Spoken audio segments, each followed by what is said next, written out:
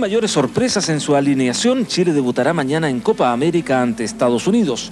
El técnico Ascar Gorta entregó durante la jornada matinal el equipo que formará inicialmente. Marcelo Ramírez en portería, línea defensiva integrada por Gabriel Mendoza, Eduardo Vilches, Javier Margas y Fabián Guevara, con Miguel Ramírez y Nelson Parragués como volantes en demarca y Esteban Valencia y Fabián Estay en la creación. Adelante, el Vasco se decidió por Marcelo Salas como acompañante de Ivo Basay. Anoche la selección visitó el terreno de juego. Aproximadamente una hora tuvo el equipo de Ascargorta para familiarizarse con el campo del Estadio General Artigas. Práctica suave, en gran parte recreativa.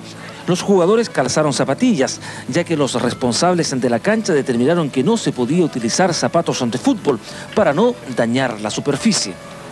Se ve que está hace muy poco plantado el pasto, así que está muy muy bueno. ¿Y para el arquero, los botes, cómo está?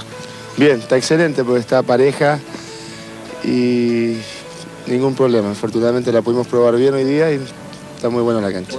La importancia es que Chile logre los tres puntos y nos permita ya afianzar un poquito la confianza, ratificar a lo mejor ciertas cosas y poder eh, empezar con base sólida a lo mejor a desear algo más.